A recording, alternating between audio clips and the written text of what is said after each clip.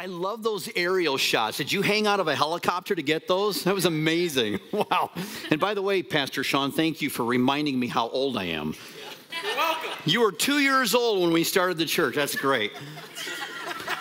Gosh, it makes you feel so old. 20 years ago. Let me take you back for a moment because some of you may be wondering, like, how did this church get started? Because you look around, this place is massive, the place is packed. God has been good, but it started from a very small beginning. It began way back in 1998 when my wife and I, and we had a bouncing baby girl and a boy on the way, and a very hyperactive black lab and an overdrugged cat climbed into a U-Haul truck and made our way to Michigan. Some of you probably just only thing you just heard now was overdrugged cat. I assure you, the cat would have slayed us on the drive, so we had to drug it up. It was kind of funny to see, but anyway, that's a whole different story. We made our way to Grand Rapids with the intention of starting a church. And when we started, it was so feeble, so small. We would knock on doors we hosted these little parties. We played volleyball, we did cookouts, we did all these things. And then we partnered with different Wesleyan churches that were in the local area. And finally, 12 brave families came on board to start the mission of Frontline. And we began in a factory bay at McDonald's Industrial Products. We hung these curtains and, and blocked off all the machinery and then made ourselves a little sanctuary in the middle of the industrial heart of a factory bay. And we did preview services there in 1999.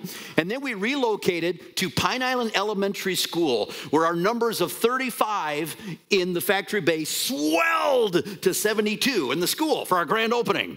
So it was a small beginning, you can see. And I, I swear, we counted everybody. We counted the janitor and some mice to get those numbers up, you understand? because mice need Jesus too. So we did everything we could, right? And then we kind of slumped down in our attendance, and then gradually we built it up and it grew. We got to about 100, and that's when we needed to hire a staff person, Brian. That's when we brought him on, right at that time, yeah. Or as I affectionately call him, Bry or the Bryolator. you missed that, yeah. I'll, I'll text you every day about that. So we brought him on board, and then we issued the challenge because we relocated to yet another place called First Wesleyan that was on Three Mile, a little five acre plot over there. And we issued the challenge to the board that, okay, or the congregation, that there's no way you could get over 300. We're averaging 120 at the time, whatever. There's no way you can get 300 there. But if you hit that goal, you are allowed to shave us bald we thought there is no way. And of course, that Sunday, we welcomed 324 people in attendance. And after the church service, the board proceeded to come up on stage and shave us bald like basic trainees. It was weird. I mean, it, what was wild about that is the visitors would come and they, it's like, are you guys from a monastery or something? You're like some monks or, it was crazy. But from there, we just continued to grow. We added new staff members. We increased our ministry capabilities and the church just grew like a hundred a year. It was just amazing to see God's blessing on the church, even in spite of our weaknesses and flaws. And my wife will tell you, I have a lot of them. But we are blessed that God blessed in spite of that. So then we had challenges because we were running three services at the time, and it was just breaking our backs because the load was so much. We had people walking from different parking lots down the road. If we had Fitbits back then, they would have had a lot of steps in. So we were working hard, right? And then God opened up the opportunity to relocate to a Meijer office building, which is where you're seated today. I bet the people in cubicles that were working in this room had no idea that someday this building would be changed and transformed into a kingdom building ministry. Is that not amazing? So, yeah, God has done some amazing things. And then to bring that full circle now, Meijer trucks are coming here to drop off supplies for the needy. Isn't that beautiful? See, that's what God does. I love what He does. He's about that. And then our opening service here, we had over a thousand, and God, we just haven't looked back from there. So, why did we do that? That would be the ultimate question. Do we just need another church on the map, or do we want to start another social do gooders institution to do good for the community? Certainly not because it's much deeper. Well, we want to do good things for the community, but I'm saying beyond that, it's a much deeper reason. Renee and I left to come here to start a church because of conviction. The conviction was based on the fact that we felt called to start a new work of God, even though we had no idea what to do. We had no knowledge, no experience, but lots of passion. We're basically excited idiots. But we, we, we believe we were called, so we're called, we're gonna do this, right? But secondly, was the message of Scripture, the belief the conviction that God wants to perpetuate his message of salvation through his son, through the entity called the church.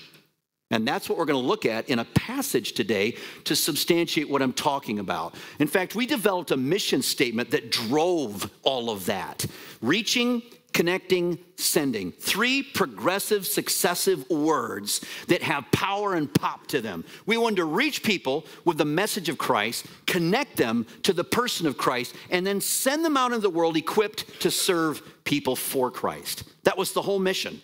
And it's based on several passages, but one I'd like you to take a look at with me today comes from Matthew chapter 16.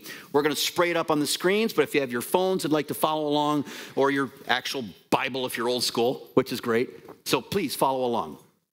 So Matthew 16 says this When Jesus came to the region of Caesarea Philippi, he asked his disciples a very powerful question Who do people say the Son of Man is? And they replied, Some say John the Baptist, others say Elijah, some say Jeremiah, or one of the other prophets. But what about you? He asked, Who do you say that I am?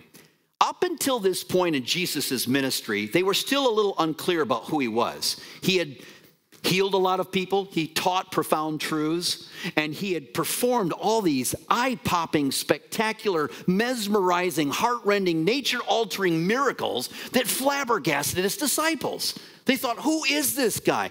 But they were still sketchy on the finer details of Jesus' identity. And so at this point, he checks their knowledge. He checks them and say, who do people say that I am? And he takes that broad and general question and he narrows it specifically to the people, to these disciples, who do you say that I am? Ladies and gentlemen, there's not a person in this room who will not answer that question. Every human being who will ever be born must answer the identity question Who is Jesus? That's a pretty profound statement. So we have to embrace that. Why? Because that determines our eternal destiny. That's the conviction. So it goes on to say, Simon Peter, blessed are you. You are the, uh, I'm sorry, let me back up for a second. He says, but what about you? And they and Peter steps forward and he answers with boldness and clarity, You are the Messiah, the Son of the living God. Correct answer. In fact, Peter was ready for with a savory compliment. Notice what he says here. He says, Blessed are you, Simon, son of Jonah, for this was not revealed to you by flesh and blood, but by my Father in heaven. That shows the partnership between the church and the Holy Spirit working together to bring us into clarity and focus of who Jesus really is. Then he says, And then I tell you, Peter, on this rock I will build my church, and the gates of Hades will not prevail against it. Now, that's a weird phrase, isn't it? The gates of hell, or Hades in this case is death, will not prevail against it. Does that seem awkward to you? When you translate this passage, you think of gates as a defensive measure, not an offensive measure. You've never seen an F 22 Raptor air fighter jet with a set of gates attached to the front of it. You've never seen an Abrams A1 hull uh, with a set of gates attached to it. You'll never hear an enemy issue an ultimatum that says, if you don't surrender, we will gate you. Right? That doesn't make any sense, right? Because gates are a defensive measure, which shows then that they will not prevail against the church's advance or movement forward. Because, ladies and gentlemen, the church is on the move. Let me show you another verse where that's true. In Matthew chapter 11, verses, verse 12 says, And from the time John the Baptist began preaching until now, the kingdom of heaven has, here it is, been forcefully advancing, and violent people are attacking it. This brings us to what I call the frontline principle. The frontline principle simply states that we are waging a spiritual war. I've said many times when preaching here before, I wish we could somehow rip open the veil between time and eternity and you could look beyond your senses and see what's happening. Every person sitting in this auditorium There is a war battling over your will, over your decision, your choice in this life of who Jesus really is. Everyone has to answer, Who do you say I am? And that's what that's about. So we have to recognize there is a spiritual war being waged for every one of you, which is why prayer is so critical. Lastly, I want to issue the challenge. This is what the frontline principle does it issues the challenge to each of us. Choose to be active on the front line rather than inactive on the sideline. Now, what does that mean? It means you take what's been given to you, God's grace, His love, and His mercy, and you simply pass it on to others. The Great Commission was not meant to be a close hold thing. We're to show and tell it, to get it out to our community, our respective front lines into our world, because that's how God's kingdom advances. This is why we gave Frontline the name Frontline. Frontline is far more than a name, it's a movement. It's a movement that ripples outward and onward through communities and generations and it cannot do so without us. We must participate. So, ladies and gentlemen, if you are affiliated with this church, if this church is home, you are affiliated with one of the many thousands of churches or spiritual outposts on the front line of the spiritual war that is waging around us. And you play an integral part of getting the identity question solved for others so that they would know Jesus as well. And by the way, this war will be waged with or without our cooperation. But since souls matter so much to God, shouldn't they matter to us? He cares for those cantankerous, prideful, sin soaked beings you go to work with or do life with at home, right? He knows, He loves them, and He's mobilizing you to go be a part of their lives and bring the kingdom to them so they can come to Jesus. That's what it's about. So, ladies and gentlemen, Frontline started with a very fragile past, like a little seedling being planted into the ground. But God, in His mercy and grace, grew it into a powerful entity that it is today. It's a rugged story. It's a story of loss and hardship and difficulty, as many great works of God are. But isn't that a trophy of grace? That's what you and I are. We're trophies of grace.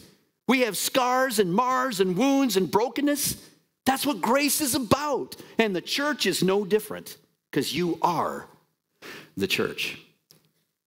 You will boldly move forward into the future because today you are healthy, you're strong, you're robust, you're vibrant, and you're courageous. And it makes me wonder since you are a movement, what's next for Frontline?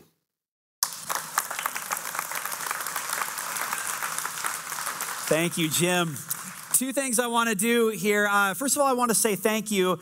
If you, and we had many in the first service, so I'm not sure how many will be here for a second service. If you were a part of that original launch team with Jim and Renee in 2000 to help launch the church, or if you came anytime in that first year, in the year 2000, would you just stand up uh, right now in this place? We want to honor you. If you're here, yes, several of you are here. Okay, awesome. That's good. Just say, give them a hand. Man, yeah. Just want to say, yeah, you guys can take a seat. I just want to say to each of you, thank you for allowing yourselves to step out and take a kingdom risk. And especially Jim and Renee, thank you guys for being willing to move here, to be willing to say yes, even before you understood the how of how it was all going to work out. And the Holy Spirit has moved powerfully through you, and our lives have been impacted because of the risk that you took. And so we're grateful for you. And so I want to say thank you. The second thing I want to say is I actually believe that our best days as a church are actually ahead of us. It's incredible to be able to look back. It's incredible to be able to thank God for 20 years, but we don't believe our best days are behind us. We actually believe that our best days as a church are ahead of us. But in order for that to happen, there's a shift that we need to make as a church. And actually, it's the exact same shift that you see Jesus make in Mark chapter 3 with his disciples. If you're just joining us, you may not realize that oh, since the beginning of January, we've been working our way through a teaching series called Jesus Unfiltered. And what we're doing is we're just following Jesus through the Gospel of Mark. So every week, literally, we're just looking at the next chunk of the story of Mark. And it just so happens that Mark chapter 3 is the, the passage of scripture. We didn't actually plan this, but it's the passage of scripture we're looking at today. And so, what's been happening so far is in Mark uh, is that Jesus' name is becoming more and more famous, and people are coming and they're beginning to understand who Jesus is. They're beginning to answer that question that Jim was just talking about a moment ago. But what's happened is Jesus' ministry is basically in this area right around the Sea of Galilee. There are these little towns around the Sea of Galilee in this little local area, and that's where he's known. But this is the moment in Mark chapter 3 where the top gets blown off of it. This is Mark 3, starting in verse 7 says Jesus went out to the lake with his disciples, and a large crowd followed him. They came from all over Galilee, Judea, Jerusalem, Idumea, from east of the Jordan River, and even from as far north as Tyre and Sidon. Okay, so the ministry has now become regional. It's not just around this local area. Now people are coming from everywhere. And as a result, it says the news about his miracles had spread far and wide, and vast numbers of people came to see him. So Jesus instructed his disciples to have a boat ready so the crowd would not crush him. I mean, get that image in your mind. Jesus is literally so overwhelmed by the crowd of people, the human Jesus, that, that are crushing him. And we know that Jesus can meet any need that we have, right? But humanly, in this moment, he has to have like an escape boat ready because the crowd and the needs are so great. And so here's where the shift in his ministry happens. And this shift impacts the entire rest of the Gospel of Mark. The entire ministry changes from this point on. It's right here in verse 13. Afterward, Jesus went up on a mountain and called out the ones he wanted to go with him. And they came to him. Then he appointed 12 of them and called them his apostles. It's the first time you see that word in the gospel story. They were to accompany him, and he would send them out to preach, giving them authority to cast out demons. So the shift that Jesus makes is he doesn't just continue to keep trying to meet all the needs himself, just spinning faster and faster and faster, trying to meet more and more needs as more and more people come. What he does is out of this huge crowd of disciples, he selects 12 of them and he appoints them to be apostles. Now, the words matter here. The word in the original language for disciple means a learner. It's, it's someone who follows, it's someone who is a learner. They're learning about how to follow Jesus. The word apostle is the word apostello, and it means one who is sent out. That's what the word means. And so, just to kind of put it simply, a disciple is one who follows, an apostle is one who is sent out, and they're sent out with authority to do so they're not just disciples that are following more, they're actually being sent out to do the things that they saw Jesus doing up to this point.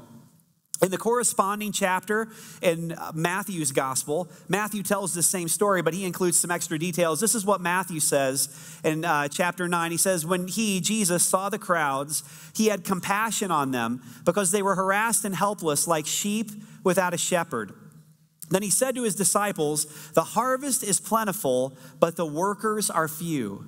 So ask the Lord of the harvest, therefore, to what? To send out, there's that concept again, to send out workers into his harvest field. So, so for Jesus, the way he identifies the problem is look, the, the problem is not that, you know, there's a problem out there keeping people from coming to me. The harvest is plentiful. There's no problem with people wanting to come. The problem is actually in here. The workers are few. We need more people being sent. We need more people serving. We need more people being willing to sacrifice and lay down their lives and take a kingdom risk like that first group of people did that helped start this church.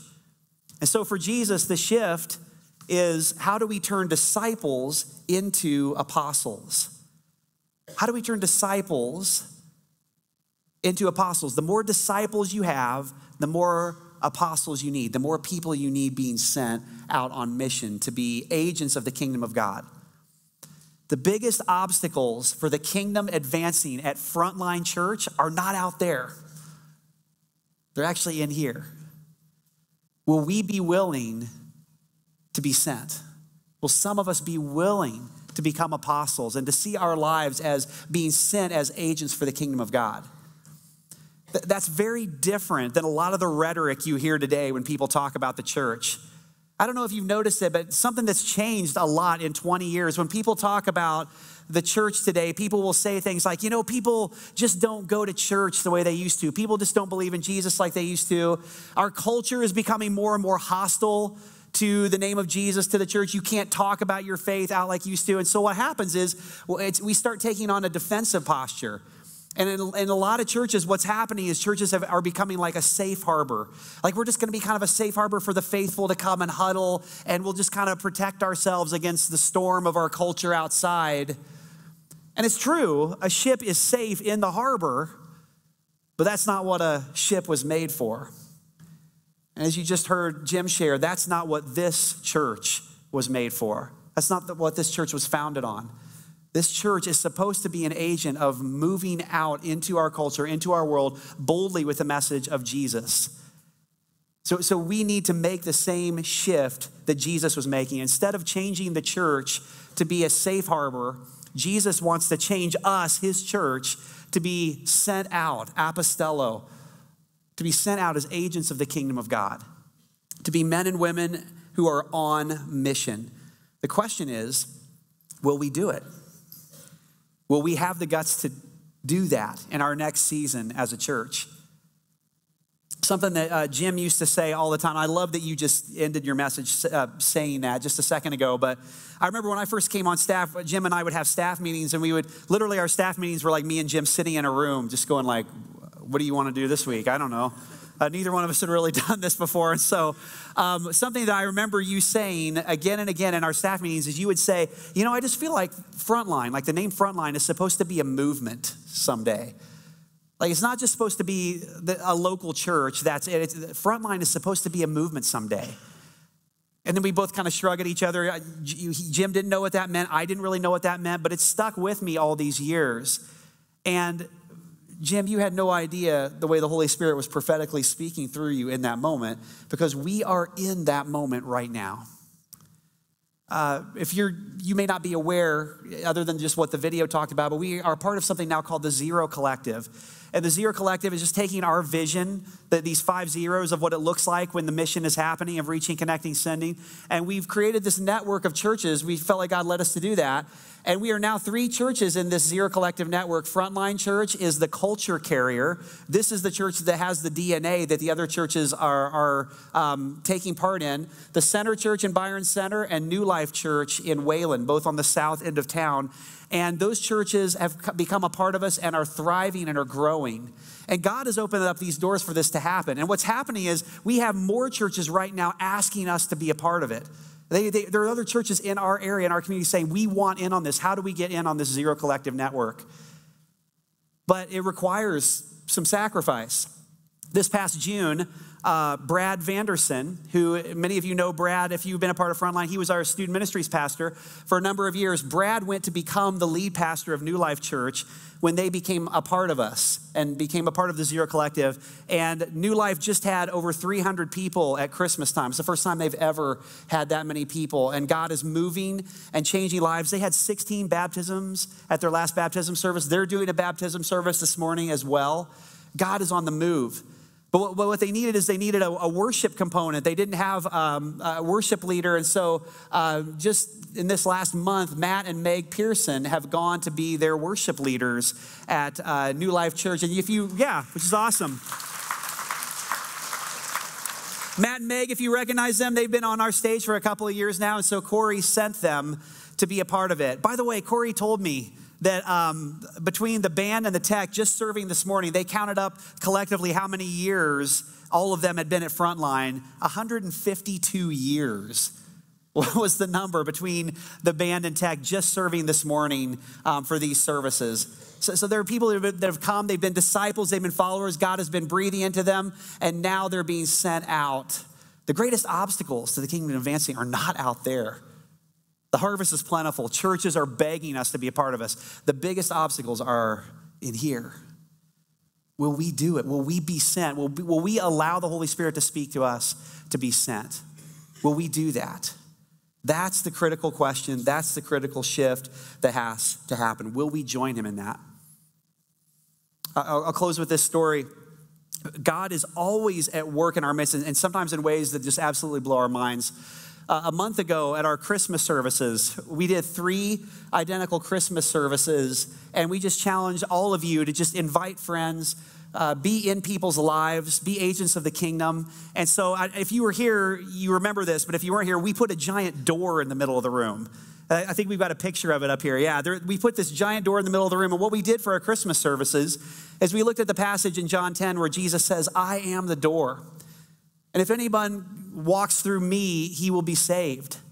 Talking about his relationship to us. And so, what we did in that room was we invited people to make a public decision to follow Jesus by coming from wherever they were in the room and walking through that door to signify that they were surrendering their lives to Christ. And we have many people who did that. There was one woman who came to the eight o'clock service uh, on um, the first night. And she came, she was invited by her family who go here to Frontline. She was in from out of town and she doesn't go to church. She never made a public decision for Jesus. And so they invite her, come with us to the Christmas service. Now, what their, her family knew is that several months before this, uh, she had had emergency open heart surgery. So, literally, to save her life, she had undergone very, you know, in an emergency fashion, this open heart surgery in order to save her life. What her family did not know, and that she had told no one, is that when they put her under the anesthesia for that surgery, she had a dream about a door. And she wakes up from this surgery and she remembers this dream about the door and she keeps thinking about this, this dream and this door she has. And so when she walks in those doors right there at the back of the room for the eight o'clock service with her family, and she sees the door set up in the middle of the room, she says to her family, I'm supposed to walk through that door. And she doesn't even know what we're doing. She doesn't even know what the whole point of the door is or what the service is.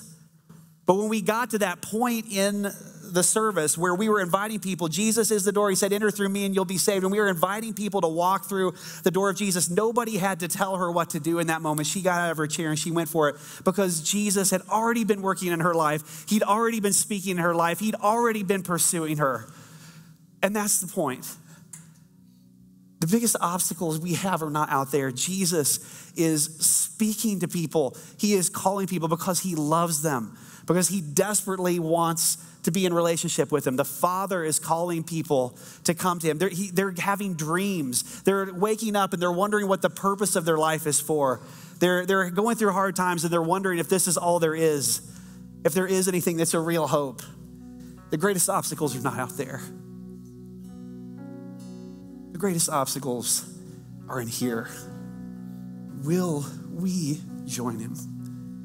Will we say yes even before we know the how, even before all our questions get answered? Will we say yes, you can send me? So, so the question this morning is where is the Holy Spirit sending you?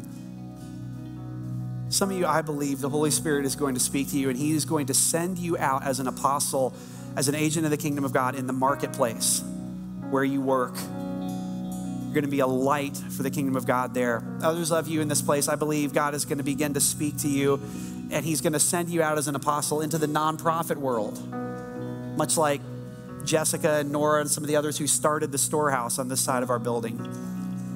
Others of you in this room, the Holy Spirit, I believe, is going to begin to speak to you, to raise you up, and to send you out as an apostle for the kingdom of God with the church, with the Zero Collective, as more and more churches come on, on board on this and it's going to be a sacrifice. It's going to be messy. There are going to be moments where we're asking, How in the world are we going to do this? But our job is to say yes because He is at work. There is nothing stopping the church, nothing that can stop the church when we say yes to the kingdom. I can't think of anything better to do today than to celebrate baptism. And so um, we're going to move into baptism now in a, in a second. Um, we're going to stand and sing a song, and, we, and then we're going to have the first of our baptisms is, going to be a special baptism. And then after that, we're going to open it up to anybody else who wants to. But I'd love if you could just bow and pray with me quickly before we start that. Lord Jesus, this is your church, and it always has been, and it always will be.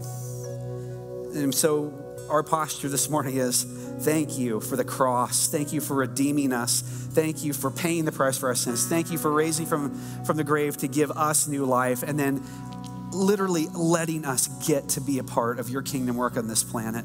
We get to do this. We get to be your church. Thank you for who you are. Would you send us out, God? I pray even right now in this room that you would begin to touch people and anoint them by your Holy Spirit to be sent out as agents of the kingdom of God. Would you continue to bring more and more and more and more disciples? And as more and more disciples, God, would you raise up more and more apostles for your kingdom? We'll look to you because yours is the name above every name. Yours is the one that deserves all the glory. It's your power that changes a life, it's your power that redeems the lost, it's your power that we celebrate in baptism. We just worship you this morning. In Jesus' name, everyone said, Amen. Would you stand with us?